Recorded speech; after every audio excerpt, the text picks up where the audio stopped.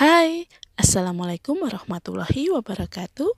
Jumpa lagi di channel Pawon SA Kali ini Pawon SA akan berbagi resep cara membuat cake gula jawa yang yum banget. Langsung aja kita ke bahan-bahan dan cara membuatnya. Let's go!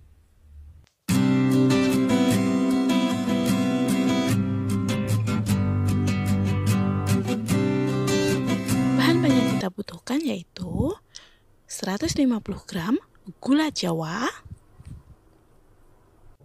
50 gram gula pasir 180 gram tepung terigu serbaguna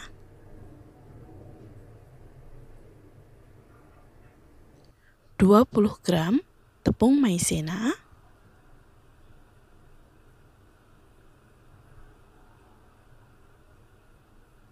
setengah sendok teh SP atau bisa diganti dengan TBM setengah sendok teh baking powder. 5 butir telur ukuran sedang.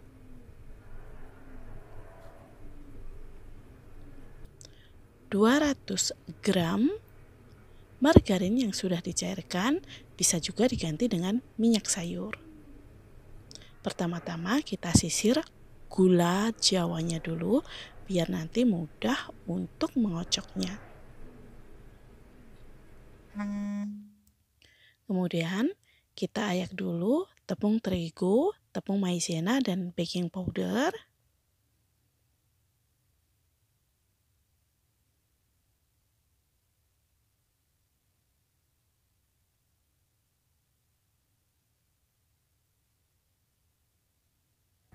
Kemudian sisihkan dulu.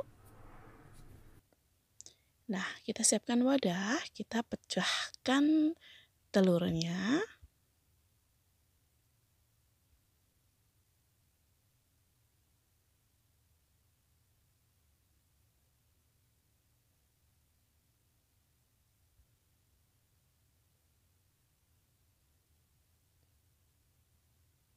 Kita masukkan gula jawa yang sudah disisir tadi, gula pasir,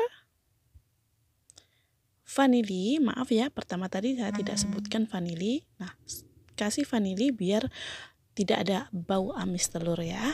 Kemudian masukkan SP.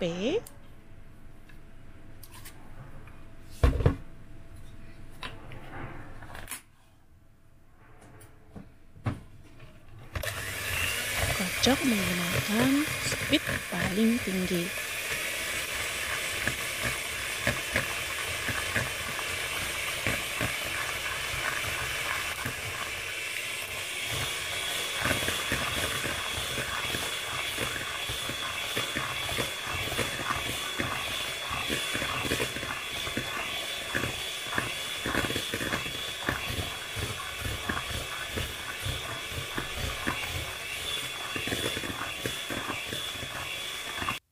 Nah, ini sudah dikocok kurang lebih 5 menit. Dan ini belum ya. Kita tunggu hmm. sampai adonan uh, cake-nya itu mengkilap dan berjejak.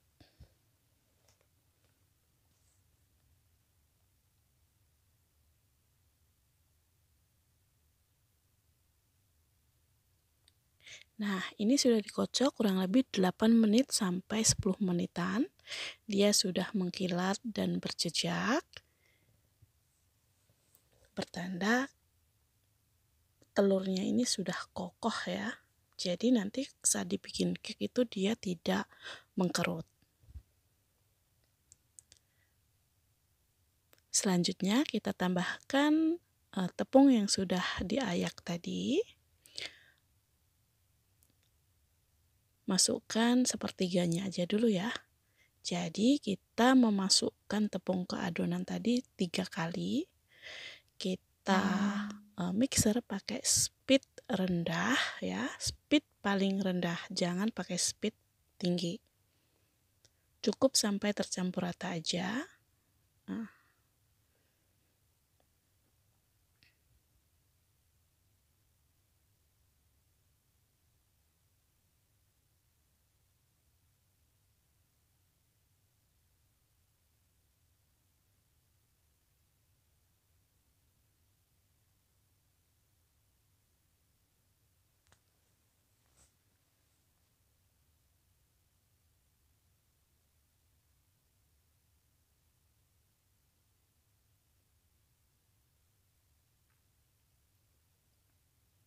Nah, sesudah tercampur rata, kita masukkan margarin yang sudah dicairkan tadi ya.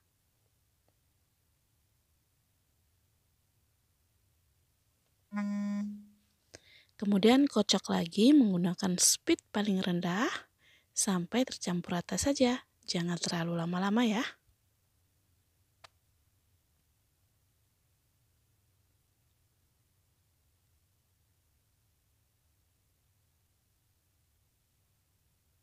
Nah, ini sudah selesai, kita kocok, lalu aduk balik menggunakan spatula.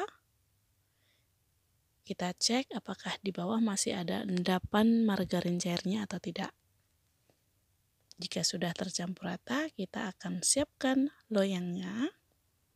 Nah, di sini saya menggunakan loyang bongkar pasang, jadi saya tidak oles dengan apa-apa. Ya, tanpa dioles apa-apa. Jika Bunda menggunakan uh, loyang yang tidak bisa bongkar pasang, itu harus dioles dengan margarin dan taburin tepung ya. Oke, kita siapkan adonan cake tadi dan kita masukkan ke dalam loyang semuanya.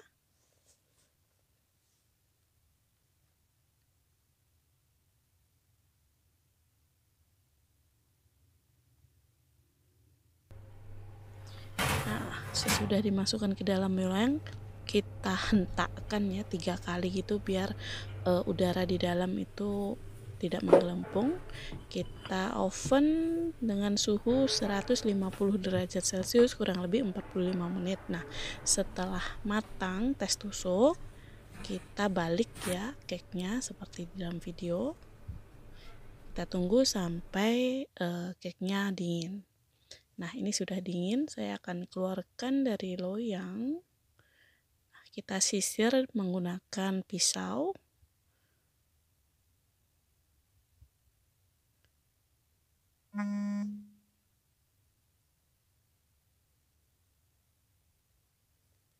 Dan ini cake-nya sudah ready dan baunya tuh wangi, gula jawa itu harum banget ya.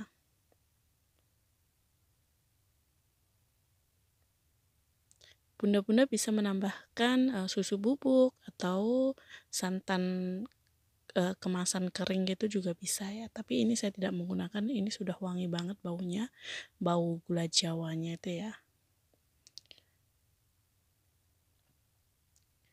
Nah, ini cake-nya sudah siap kita sajikan. Kita uh, potong-potong ya. Dipotong-potong dan siap disantap. Oke sekian dulu resep dari saya. Semoga bermanfaat buat bunda-bunda cantik di rumah. Wassalamualaikum warahmatullahi wabarakatuh. Sampai jumpa